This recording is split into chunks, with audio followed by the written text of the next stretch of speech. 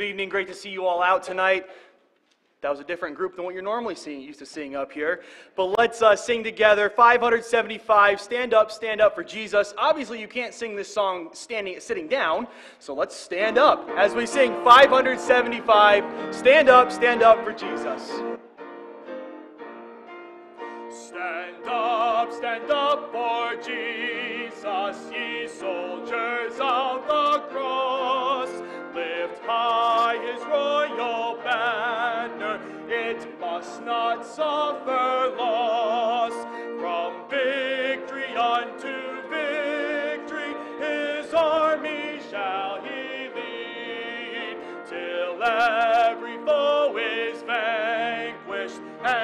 Christ is Lord indeed. On the third, stand up, stand up for Jesus, stand in his strength alone. The arm of flesh will fail you, ye dare not trust your own. Put on the gospel armor,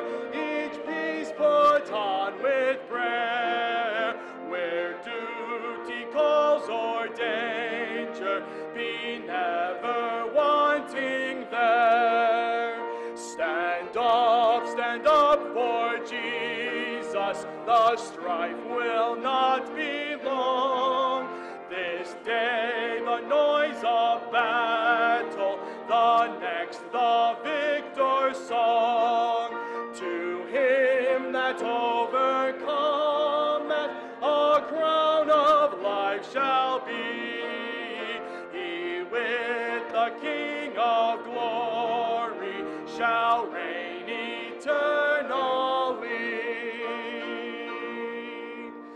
be seated. Well, good evening. It's good to see each of you here this evening. Glad you could be out again for Maranatha night number two.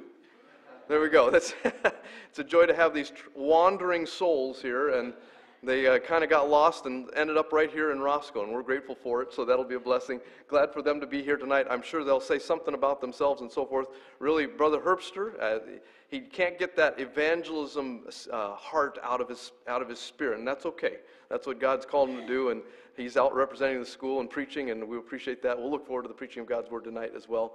Thank you, young people, for coming and ministering to hearts and song. We appreciate that. That's a real blessing. Just a couple quick things, and then I'll turn it over to them after we have a word of prayer.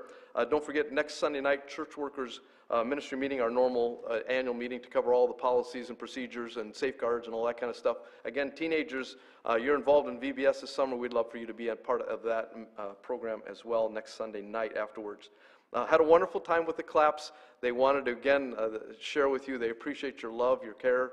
Uh, they they feel like our church engages well with them, and that's a blessing. Several of you I know write consistently with them. Thank you for doing that. That's a huge encouragement and blessing to them. So be praying. We remember we want to pray specifically that they will be allowed to get back into Palau uh, come June. All right. So no flights have been going back. They they're hoping the first flight actually goes back in April. Um, so there's a lot of paperwork for them as Americans because we are we're bad, all right, um, with all the COVID here. And so be praying that the Lord would orchestrate that. And he, I appreciate his sweet spirit about it. And let's see. Uh, I'm trying to remember the name of the guy. It starts with Ru. Ruana. Ruin. Ruate. There you go. That's right. Thank you. Thank you for helping me. So let's pray praying for Ruate, um, that the Lord would use him. That was, to me, that was probably one of the most precious moments this morning in Sunday school was hearing his testimony um, as God has kind of thrust him into the leadership of the church there. And God is using him. And what I, I appreciate his humble spirit, too. It was very evident he's leaning on the Lord and God's blessing. So the, the behind the scenes story is that the brother uh, at Clapp is regularly in conversation, communication with him. They talk on the phone once a week, texting all the time. So that's a real blessing to see that. So continue to be praying for them as well. And then this Saturday, all right, here we go. Uh, with God's grace and God's help, and hopefully we won't get too many tomatoes thrown at us, we're going to start going out door to door calling again. Um, the intention is on Saturday morning, so 10:30. If you want to join us here, we will this Saturday essentially just be putting flyers in the door, looking for anybody that's out on the street that wants to talk to us, all right? That's where we're starting with the back to door to door calling. So looking forward to it. And then we'll have flyers for our revival meetings, which are just in two weeks from today. Two weeks from today, uh, Brother Savinsky will be with us. So there are flyers back on the, on the welcome table. Make sure you pick that up uh, and be inviting your neighbors and friends and families and enemies and coworkers and all those things, please. Um, we'll look forward to just a wonderful week. But plan on Saturday morning, 1030. Um, if you have any questions about that, what to wear, all those kinds of things, uh, you know, wh- what do we do, who you get partnered with, all that kind of stuff, please catch me afterwards. I'll be happy to just walk that through. Um, this is, in my opinion, a pretty historic moment again for us as a church family uh, to try to get out there uh, on purpose, uh, visiting people, cold, cold calls, all right, again, but what a joy. So plan on that Saturday morning. And, and those of you that aren't with us on Saturday morning, would you please pray? Uh, whether it's Friday night, Saturday morning when you get up, just pray that the Lord would just watch over and give us some unique opportunities uh, to share the gospel, even, even when COVID's still kind of around, all right? That the Lord would just watch over all of that and be glorified in it. So we'll look forward to that. Okay, let's have a word of prayer, and we'll turn it over to the young people to give us some more songs. Let's pray. Lord, we thank you so much for your goodness to us. Uh, we delight in your special blessings to us, and we even think of the team here tonight. Uh, Brother Herbster coming, we see that as a gift from you, and we rejoice in it. I pray that our hearts would be again ministered to well in song, that we would learn and worship, uh, learn of you and worship you well. And then as we hear the preaching of your word, may our hearts be tender and open. Lord, uh, and even personally, I realize that you are on purpose giving me God's word tonight as the pastor. So help me to have ears to hear, a heart to receive. Help me to grow in Christ tonight. And may all of us do that as well. Lord, thank you for all the folks that are with us, even some of our guests tonight. We rejoice in that. May we be a blessing to them. And then, Lord, may we just be encouraged to serve you faithfully this week. Do watch over our church family. Thank you for several that were out this morning that back out from surgery, from, from health issues. We're grateful for that. Continue to watch over them. Bless Saturday in particular as we strive to again share the gospel with our neighbors. Uh, Lord, use us in ways that we can't even understand. May we just be a sweet testimony for the Lord Jesus Christ as we go out. We do ask for your hand of blessing as we look ahead to the revival meetings. May that be a source of spiritual strengthening for us, a time of spiritual growth. Lord, we would pray that you might allow us to see someone to come to know Christ as their Savior even that week. Help us to be diligent as a church family to be praying now and as well to be inviting. Bless tonight now. In your name we pray.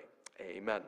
It's good to have Brother Herbster here. Uh, just a quick word of, of, introduction. Again, he's been here a couple times already. He traveled with Tonal, has preached for us. He is the dean of the seminary, so we call him Dean Herbster. There we go. And uh, you don't salute a dean, you just ask for his autograph. No, and ask, ask for a tuition rebate. There we go. There we go. Anyways, appreciate his heart and passion for the ministry. Um, that has been uh, just a wonderful joy to the work at Maranatha, as, as you probably understand and know, and his vision to continue to keep Maranatha faithful to the Lord and to his word. Folks, we need that. We're in a day and age where Christianity seems to be running headlong away from truth and righteousness. I'm grateful for a school and for the dean of the seminary that's willing to say we're striving with all of our heart to be faithful to the Lord, to his word, produce young people that will go out and serve the Lord faithfully in, in uh, God's mission field. So we're grateful for that. So you all come. Pastor, thank you so much for the privilege of serving with you at this last minute notice. And we know we can do that with certain people. And of course, your pastor is not only a tremendous man of God and pastor, but he is one of our faithful board members, graduate as well. And we know that there's many graduates here. They could, several of these, these uh, former students and students could join us if they wanted to. But we're very, very thankful that your church uh, loves Maranatha and I knew that he would tell me the truth. If, if it was okay, it was fine. I, I, I told him like on Friday, I think, that, or maybe even Saturday, I can't remember. Was it Thursday? Okay, Thursday, that we were passing through. We've already had two services today down in Shannon, and I'm so thankful for the privilege. We're passing right by your church. It's right by the interstate, right? So we know where you are. And of course, so many friends here. Um, appreciate Caleb Gillespie as well, uh, recent graduate. And of course, uh, saw Micah Gillespie playing the organ. That was interesting and, and, great to see him over there. And great to have our students, uh, uh, now our present students that are here traveling with me today. And I'm thankful for their sacrifice to serve the Lord this way. Psalm 100 says, Make a joyful noise unto the Lord, all ye lands. Serve the Lord with what? Gladness. So we're going to begin this, uh, this, these two songs with a wonderful song that really reminds us that when we serve God, there ought to be joy. That joy should show up on our face, but it should most of all be in our heart and in our lives as we serve the Lord with joy.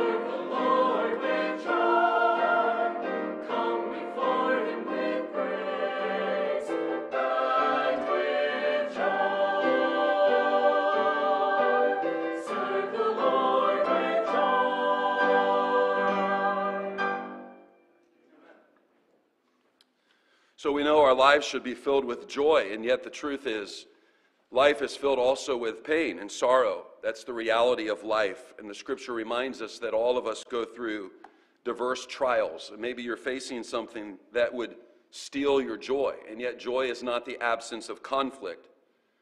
Joy is knowing in whom you have believed and trusting in God. There is a wonderful passage of scripture that we will sing from Ecclesiastes chapter 3 where it says, To everything there is a season and a time to every purpose under the heaven, a time to weep and a time to laugh, a time to mourn and a time to dance. Verse 11 says, He hath made everything beautiful in his time. Verse 14 says, I know that whatsoever God doeth, it shall be forever. Truly, God makes all things beautiful in his time.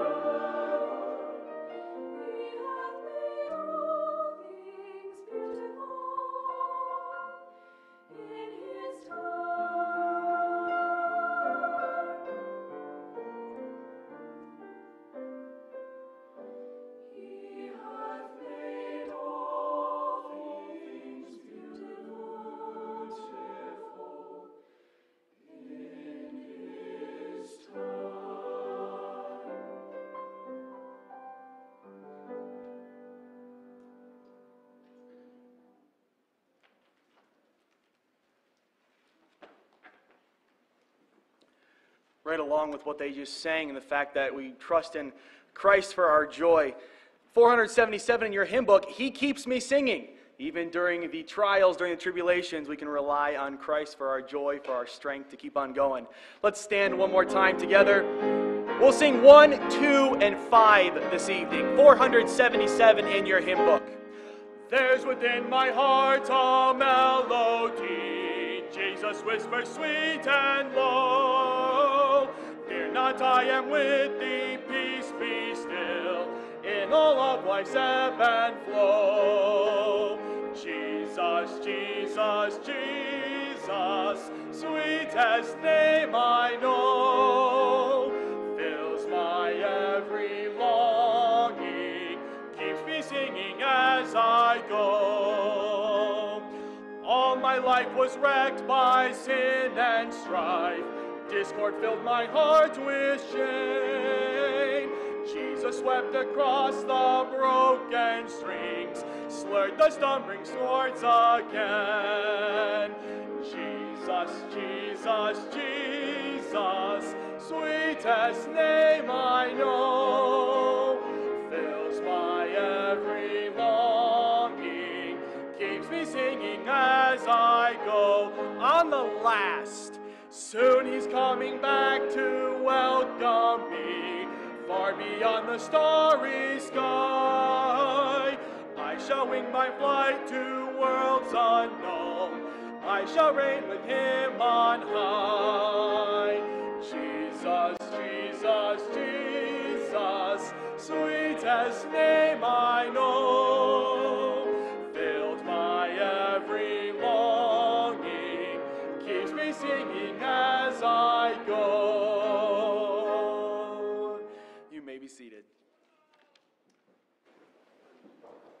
Since we uh, gave last week already in a major offering for Maranatha, we're not doing anything special, special tonight. We're helping cover their costs and so forth. So, but if you want to give towards Maranatha, obviously throw it in the gift box.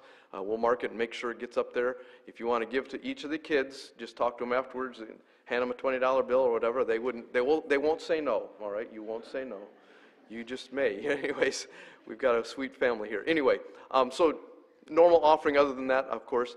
Um, and then we walkers tonight, all right? We walkers are going to sing after the offertory. They're going to sing a couple more, couple more songs. And then as Brother Herbster gets up, you quietly walk out and go back to, because he's going to be a long preacher. Anyways, no. Anyways, you know about that around here. Anyway, uh, so anyways, kids, you just step out as he comes to preach. He'll probably, I don't know, me moving from there to there. You just quietly slip out. We walk uh, leaders, thank you so much for that, and enjoy your time back there. Let's have a word of prayer. Thank the Lord for his goodness to us. Father, thank you so much for what we've already been ministered to in song. Uh, Lord, thank you for the work of God that's going on here at our home church and how you've helped and blessed and directed and met our needs in every way. Continue to do that. Thank you for God's people who demonstrate their love for you so often as they generously give. Lord, bless the work at Maranatha. Uh, Bless Brother Herbster and his role. Uh, help these young people that are coming to that time of semester where lots of things are coming due. They need to get all their work done. Give them strength, give them focus, uh, give them joy in the midst of all the hard work of school, too. And Lord, at the end of the day, help them to learn to be godly young people that will go out and serve you with their life. Uh, we would pray that for each of these young people. We don't know all of them personally, but we want God's best for them.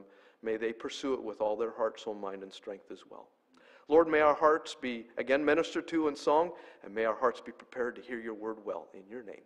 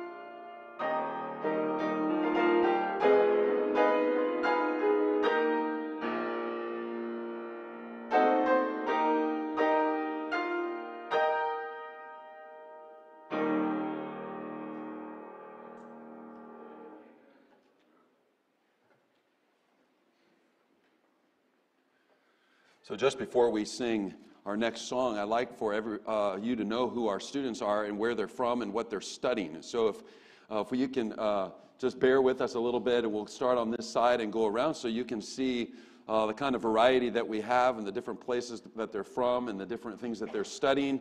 And uh, then I'll come back and, and tell you what song we're going to sing next. Uh, so we'll start right here. My name is Malachi Herbster. I am from Ringgold, Louisiana. Um, I am a biblical studies major, and I am a junior this year. Y'all know me, I'm Seth, and since I haven't actually lived in Texas at, for a long period of time, I'm just claiming I'm from Watertown. Uh, my name is Jamie Beechel. I'm from Raleigh, North Carolina. I'm a sophomore exercise science major. I'm Alicia Beechel. I am also from Raleigh, North Carolina. We are siblings. um, I am a music education major and I'm a senior. I'm Madison Herbster. I'm from Watertown, Wisconsin, and I'm a freshman elementary education major. I'm Claire Green. I'm from Asheboro, North Carolina, and I'm a sophomore elementary education major. I'm Megan Herbster. I'm from Watertown as well, and I'm a sophomore nursing major. Hi, I'm Michaela Herbster. I'm from Ringgold, Louisiana, and I am a sophomore social studies education major. Hi, my name is Micah Herbster. I'm also from Ringgold, Louisiana, and I am a senior pastoral uh, studies major and also working on my seminary degree at Maranatha. Hi, I'm Ben Schmitz. I'm from Denver, Colorado, and I'm a senior digital media marketing major. Yes, I'm aware there are five Herbsters. I, I'm aware of that. I see some of you kind of, whoa, whoa. They're not all mine, okay? I promise you.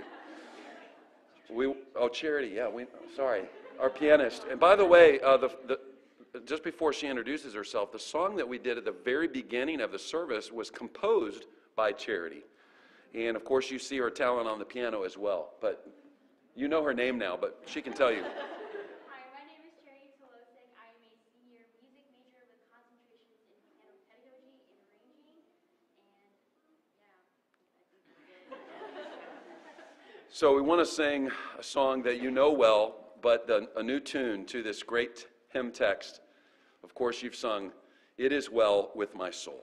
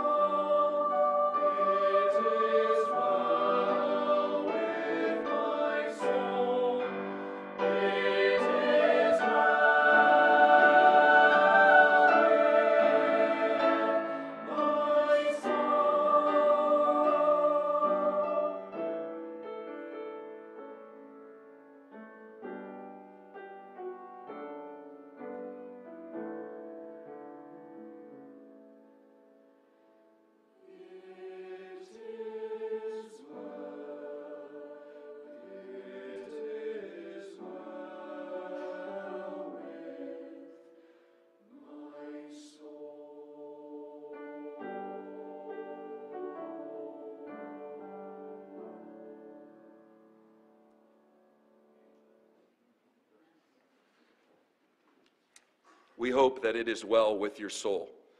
But if it is not well with your soul, there's only one person you should run to, and that is our great God. The next song we'll sing before the message is a new arrangement of the great hymn text, Guide Me, O Thou Great Jehovah. And you'll notice in the song many, uh, many, many illustrations from the wandering in the wilderness.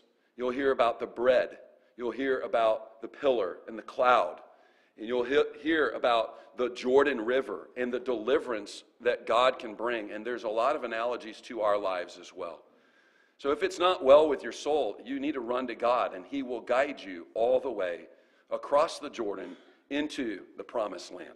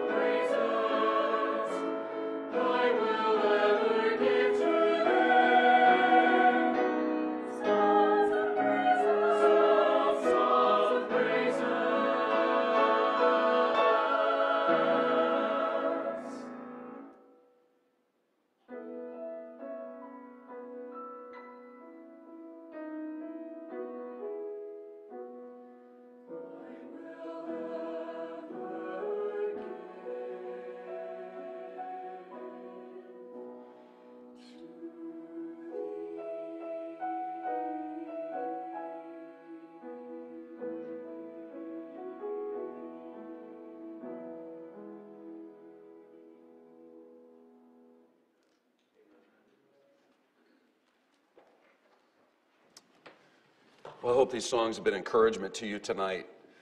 Love that tune, that new tune, To Guide Me, O Thou Great Jehovah. Really helps us to recognize that we are pilgrims, are we not? We're pilgrims in this world, and God is leading us. And praise the Lord, He's leading us to a better place. whatever you are facing right now in your life, this is all temporal. I'm so thankful that we know where eternity will be. We know who our God is, and we know we will be with Him forever. I can hardly get through that song without just uh, getting emotional and just clinging on to the greatness and the guiding power of our great God. Would you turn with me in your Bibles tonight to Proverbs chapter 2? Proverbs chapter 2. I just heard that you are having Jerry Sivnksty, and I'm going to prepare you well because Jerry Sivnksty is one of my dear friends, and he preaches almost exclusively 22 to 25 minutes long. Which means tonight I'm going to just uh, go ahead and preach a short message so that you're warmed up for the evangelistic meeting. And you can tell Brother Sivnksty I set him up very well, Pastor, so make sure you pass that to him. I've known him for many, many years, and when I began an evangelist, evangelistic ministry years ago, he became a dear friend of mine. He knew me when I was a teenager, and I'm so thankful for the, the many years of faithful preaching uh, that uh, Jerry Sivnksty has given. Of course, um, you may not know this, but he has three sons who are also in the ministry and uh, a daughter who I believe is married to a pastor as well. And so his family speaks volumes of the consistency of what he preaches. And I, I just want to encourage you you ought to be faithful. You don't have to worry about long winded evangelists with Jerry Sivnksty, okay? So make sure you're faithful to come to the services when he comes in just a couple weeks. I'm really excited about that. So thankful again, Pastor, for the privilege of serving with you. So many uh, friends here in the auditorium. Great to see so many of you here tonight, and I appreciate so much the privilege to serve at Maranatha Baptist University.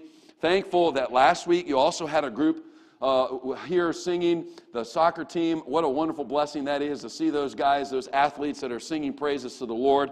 I'm thankful that you also had the privilege of having Dr. Davis here. And some of you maybe had not met him, and I'm so thankful for his faithfulness and ministry. And he's a dear friend of mine as well. Of course, we are serving together there at the university. And uh, we just appreciate so much your church.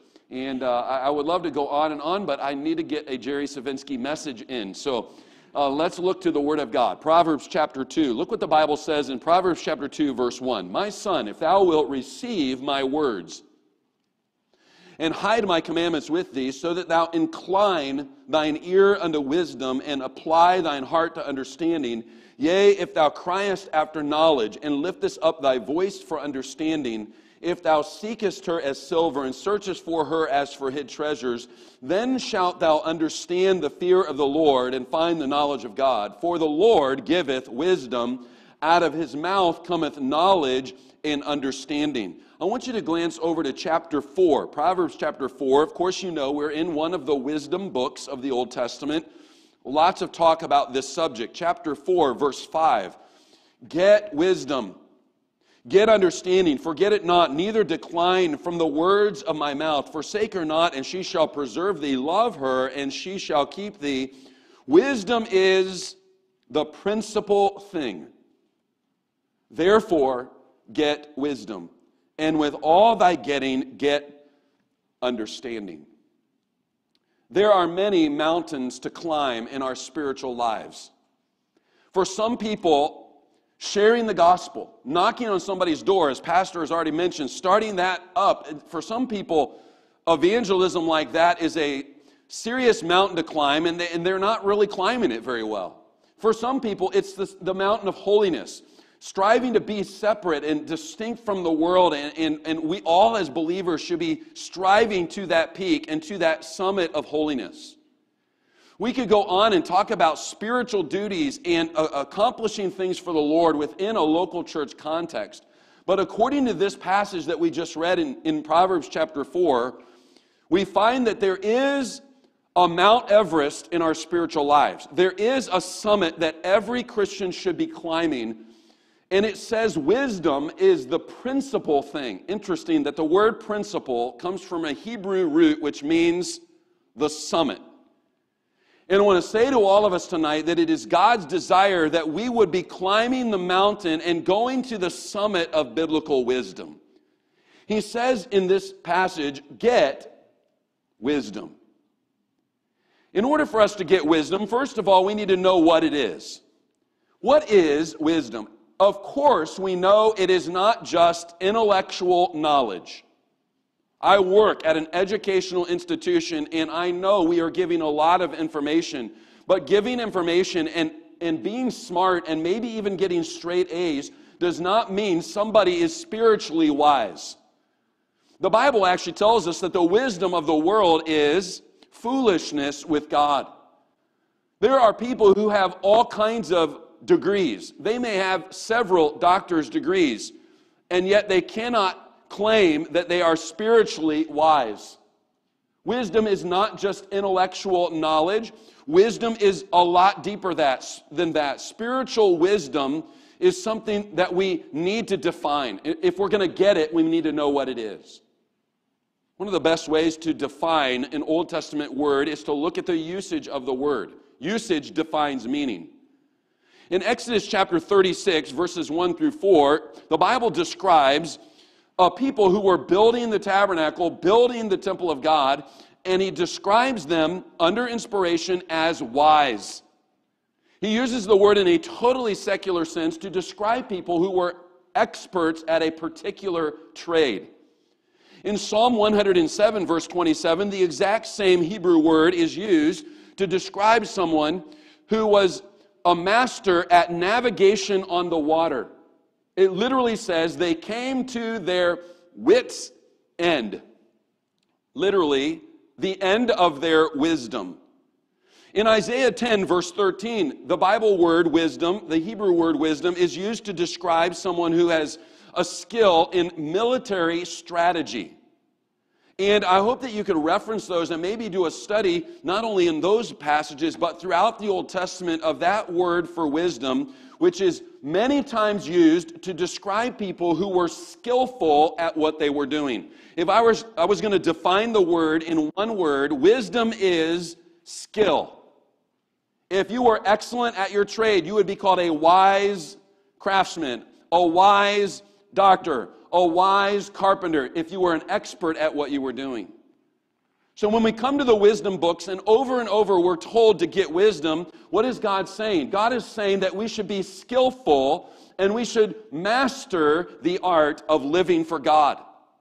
We should be skillful at making wise, good, discerning decisions. Maybe I could put it in a simple definition wisdom is the skill or ability to make right choices in accordance with God's word and God's way. With this prerequisite, the beginning of wisdom is what? The fear of the Lord. No one even hopes to have wisdom unless they have a proper respect of God.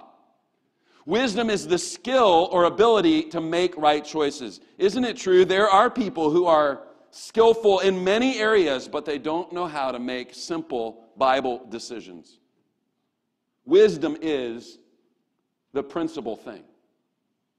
You know, this should be the goal for our personal lives. This should be go- the goal for our training of young people and our own children and, and even in Christian education. Is not that they would just have information, but they would be able to take the information and even the Bible truths and make good decisions, wise decisions throughout their life. Wisdom is the principal thing, therefore, get wisdom. All right, so wisdom is the skill to make good decisions.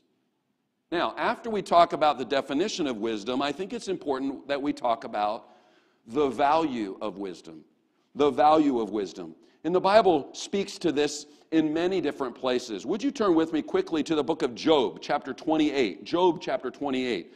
There's no way we can cover all the verses as we have a short time here tonight. But I want you to notice in this wisdom book, which, by the way, the book of Job helps us to make wise decisions, discerning decisions, skillful decisions when we don't understand what God is doing. This is why the book of Job is so powerful, because Job had a really bad day. If you think you had a bad day, it's nothing like Job's.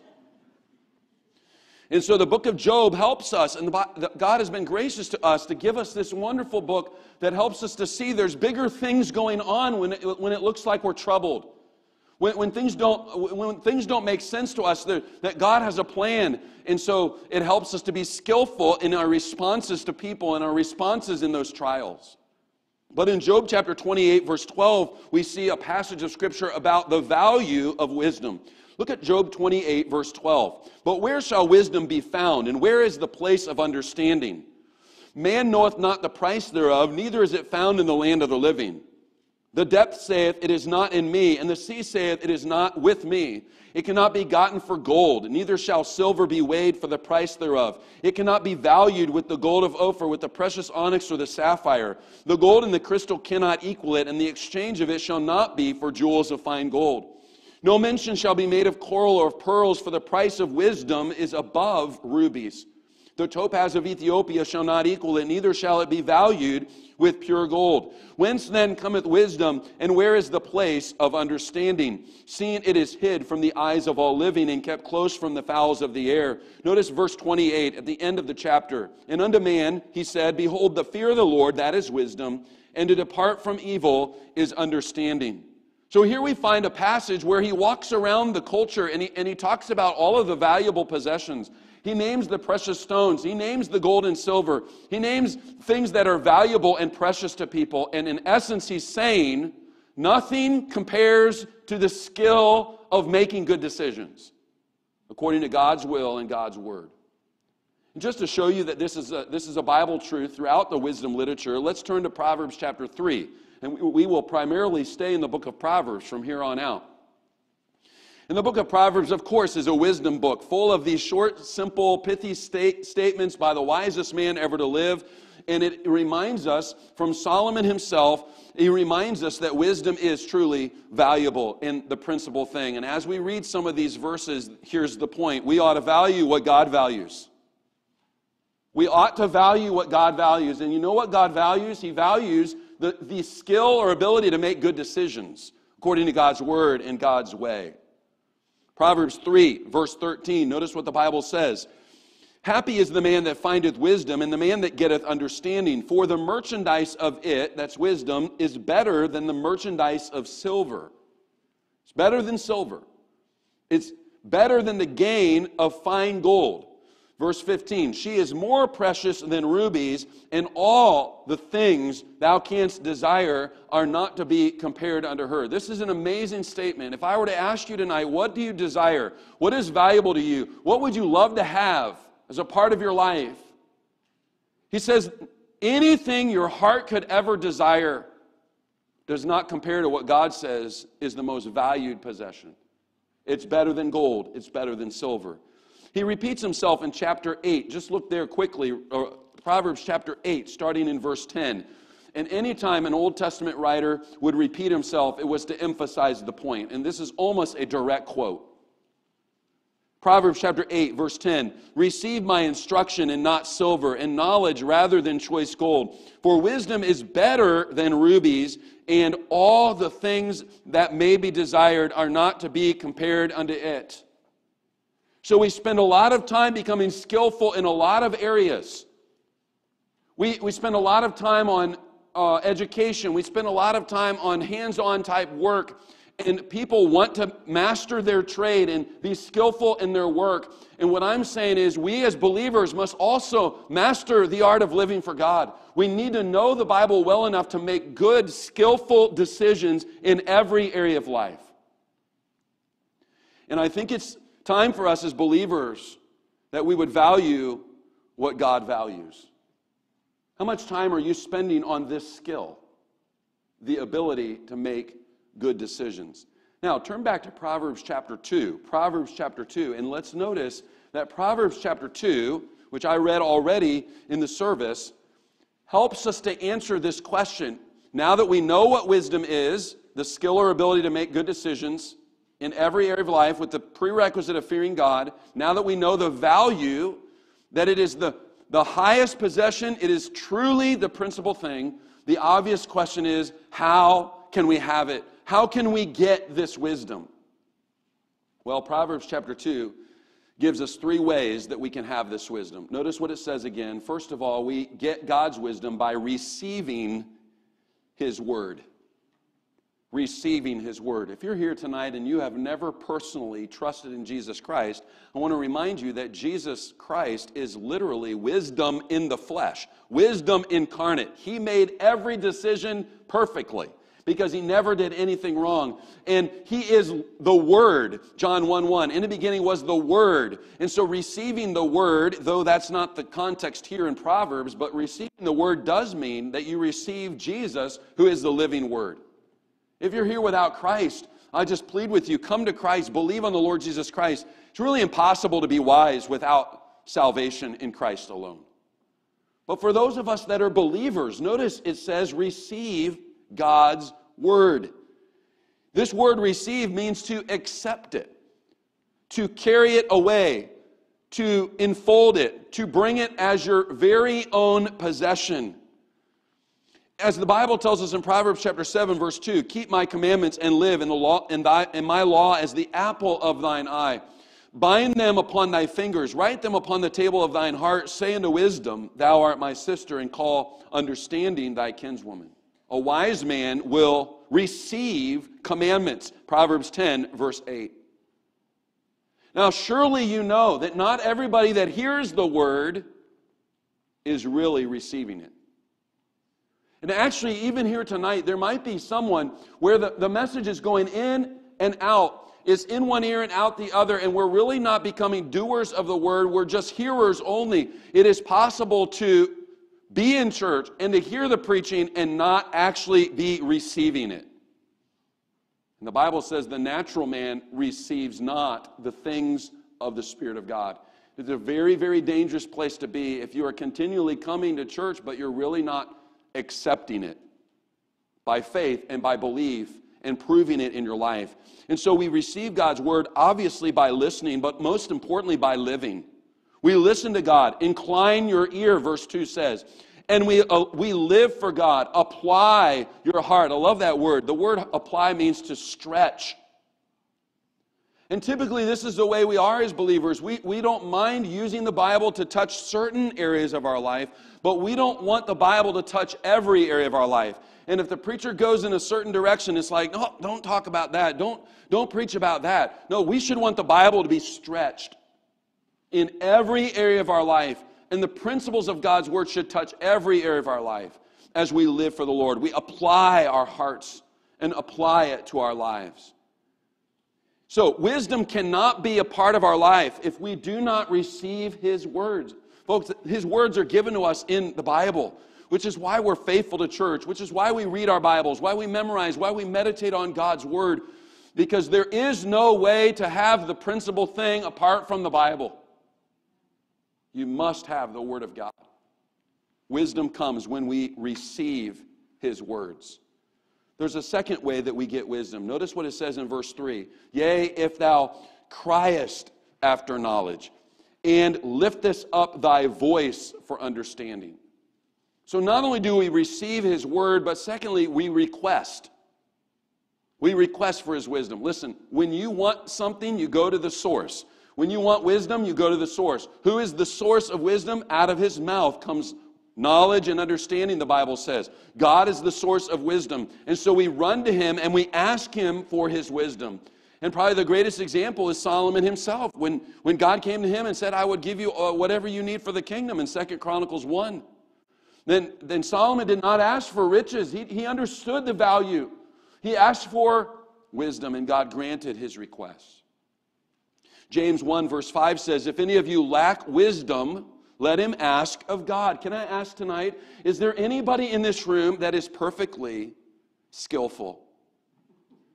Or could we all say that we lack we lack wisdom, then I ask you, when was the last time you got on your knees or you bowed your head and you said, God, I need your help. I need your wisdom to make a skillful decision in this area. I'm sure I'm talking to some people here tonight, and maybe you're facing something in your family or something in your life or something uh, in a relationship that you just don't know where to turn. You don't know what decision to make. You know what? God is able to give you wisdom. God is able to give you discernment, to open the Bible and to give you principles and even pictures and, and illustrations of maybe how you should handle that situation.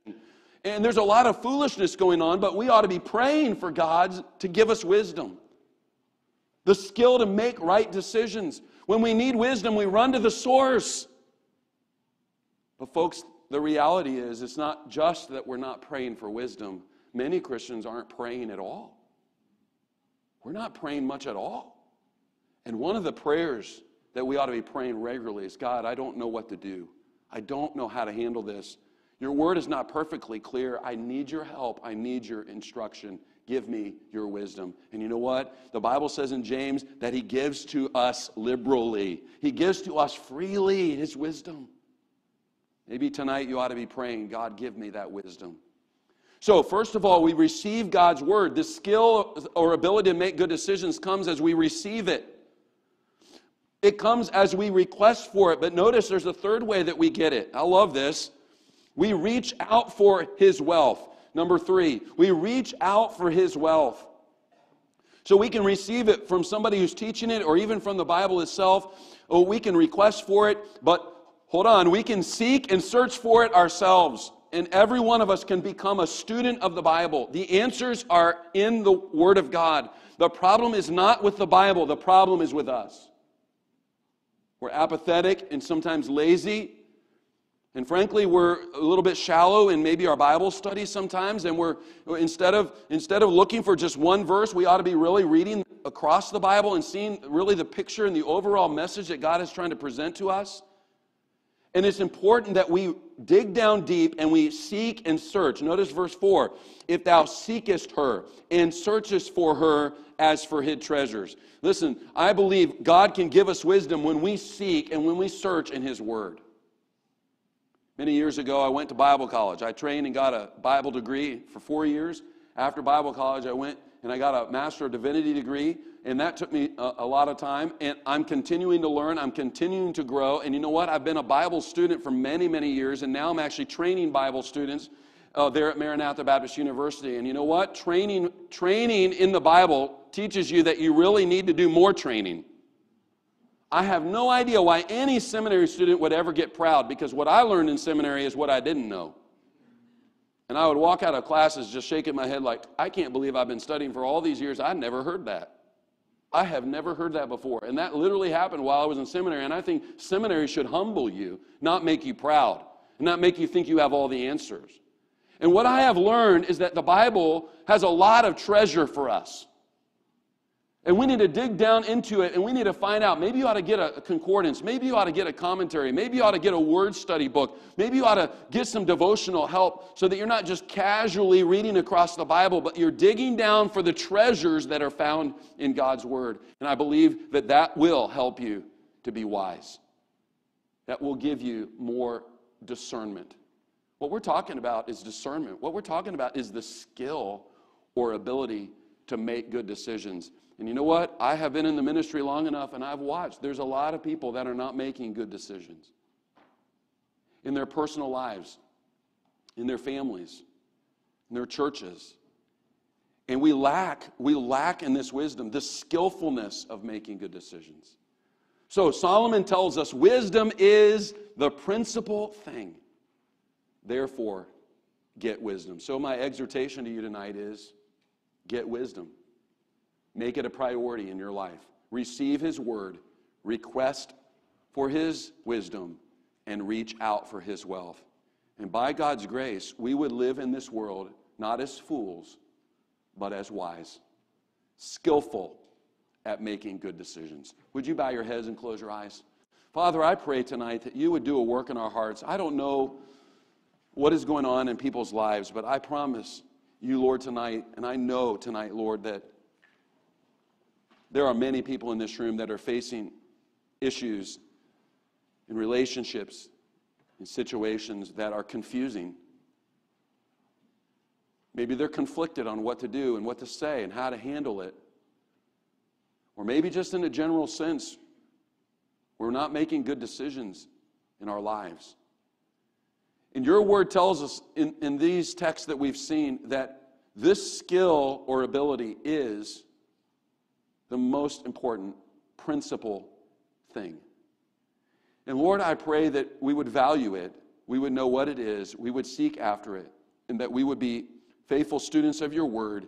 We would be in prayer asking for your wisdom, and that you would grant to us our requests, because God, we don't want to make foolish decisions. We want to be wise. We believe that if we become that kind of skillful person, that You'll protect us and you'll bless us and you'll use us in this world.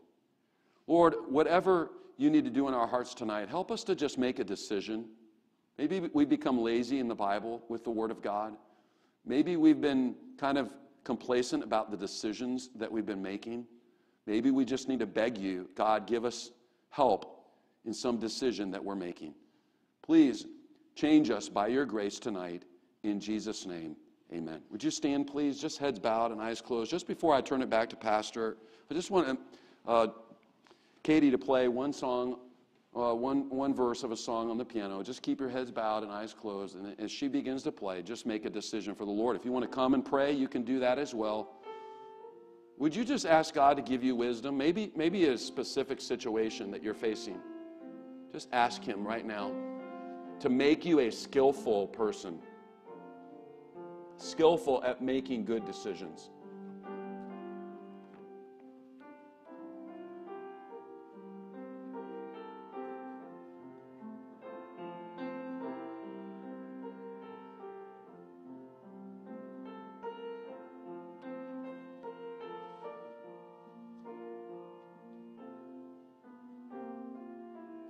Lord, thank you again for teaching us your ways, and we do beg you that you would help us.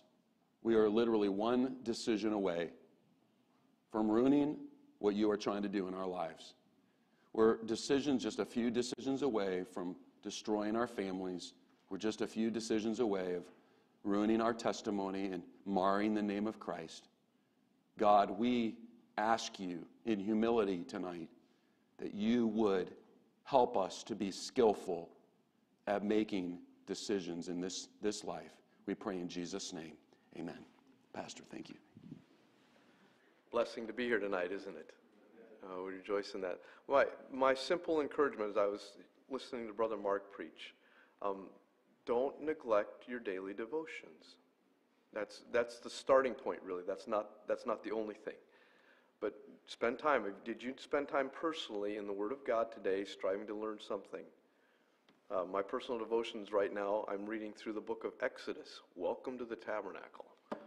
And, you know, make this thing this two cubits long. And it's like, what do I learn from that? Do you know that almost in every one of those passages, God always includes a spiritual note that it tells you why this is valuable. Uh, and it's rich. It's like, oh, that's important stuff. God wants his people separate. Or in those situations, God wants his people to walk with him. And there's all those, anyways, that, that's wisdom. There it is. There it is. Um, and then, and then, do you pray for wisdom every day?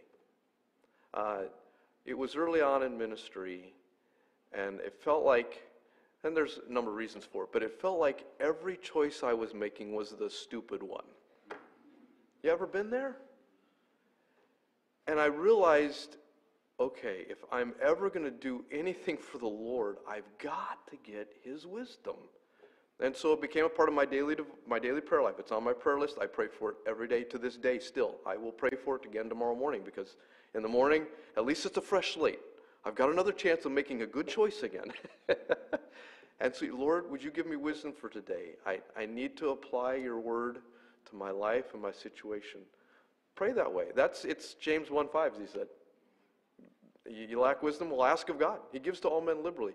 And I, personal testimony, there have been times where I've looked back. You, it's usually after the whole thing is done. It's like, oh, that was the wisest choice. And I had, I knew it wasn't my brain. It wasn't there for me. It was the Lord directing my steps at the time to make the right choice as you're begging for God for help. And then, obviously, in the midst of the decision, uh, you know, you're going through the day, you make a decision, stop and pray, Lord, help. As he, he mentioned that tonight, Lord, help. That's getting wisdom. Uh, what you're doing here tonight is the right thing. You're receiving wisdom tonight. Apply it. Apply it, as he said. Well, praise the Lord. I'm sorry, I'm repreaching your message, but that's, that's good stuff. So, anyways, well, it's a joy to have the team here tonight.